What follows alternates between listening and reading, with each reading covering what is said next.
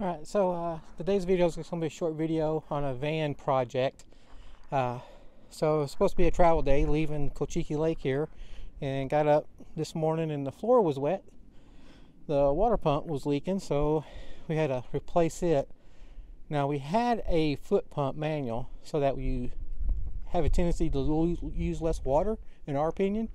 But you ain't gonna find those off the shelf, so we went to a electric. So let's show you the manual pump foot pump we had.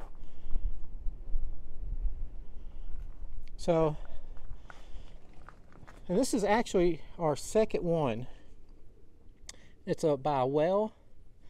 Uh, so it just mounts on the floor like that.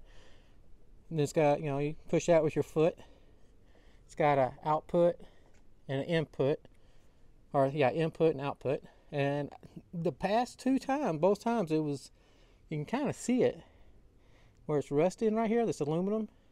So I'm assuming it's the diaphragm of, of the pump that's leaking. Uh, it wasn't a lot. It wasn't leaking constantly. I think it was only doing while you were pumping it, but it was enough to have you know water pulling up on the floor. Got our uh, car, one of our mats wet last night. That's how we noticed it. So, so we went to an electric pump. So, uh, and that was not always our intention. Let's see if we can get how bad the lighting is in here. So, so there's our new pump. So before, the floor pump was mounted there, and the pedal stuck out just in front of the vent there. So we, with the electric, we mounted above our diesel tank uh, it wasn't too bad putting in. Uh, it did say on the vertical to make sure you have the head of the pump facing down. Uh, so that's the imp that's the output, and then the inputs on the back side. And we're still going to be able to get both of our.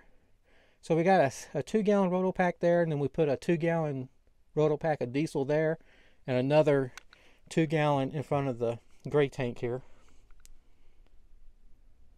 And uh, so yeah, so we put the switch, the switch is on the side here. So that's on. We didn't put a ground to the switch, just to the pump so the light doesn't come on. And uh, watch out, BB. So you can go pretty slow, pretty fast. It's rated at 2.9 gallons a minute, which is way more than we need, but that's about the smallest you're going to get. And of course we did wire it into the back on the DC switch.